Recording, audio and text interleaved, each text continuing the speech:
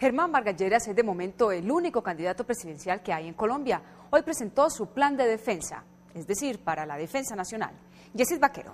María Cristina Vargas Lleras expresó hoy su apoyo al uso de bases colombianas por militares de Estados Unidos y se comprometió a seguir la política de seguridad de Uribe, pero sin Uribe.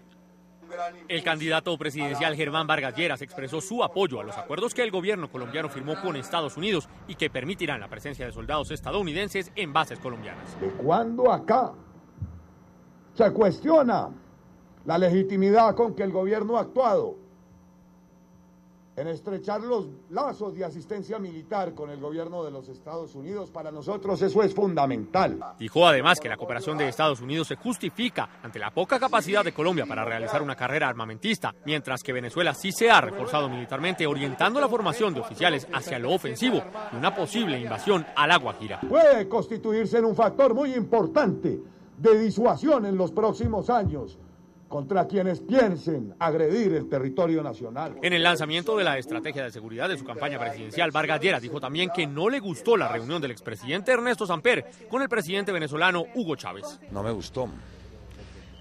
Por una sola razón, porque yo creo que en materia de política internacional, nuestra constitución establece que es al gobierno y al presidente de la República a quien le corresponde el manejo de las relaciones exteriores. Vargas Lleras enfatizó su discurso junto al monumento de los soldados caídos en combate en fortalecer, complementar y profundizar los logros de la seguridad democrática.